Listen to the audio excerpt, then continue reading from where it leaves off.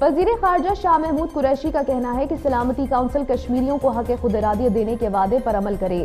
پاکستان کشمیریوں کی سیاسی، سفارتی اور اخلاقی حمایت بھرپور انداز سے جاری رکھے گا۔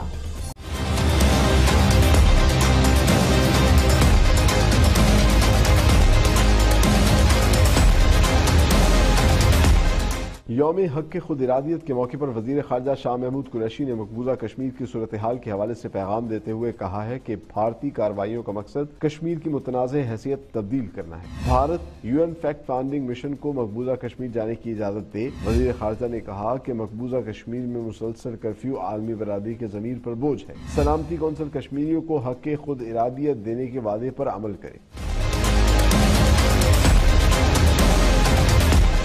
میں آج کے دن کے موقع پر پاکستان کی طرف سے ایک بار پھر بہادر کشمیری عوام کو یقین دلاتا ہوں کہ جب تک اقوام متحدہ کی سلامتی کونسل کی قراردادوں کے مطابق ان کا ناقابل تنسیق خود ارادیت کا حق انہیں مل نہیں جاتا اور انسانی عزت و وقار کے لیے ان کی جائز جدوجہد کامیابی سے ہمکنار نہیں ہو جاتی، پاکستان ان کی سیاسی، سفارتی اور اخلاقی حمایت بھرپور انداز سے جاری رکھے گا۔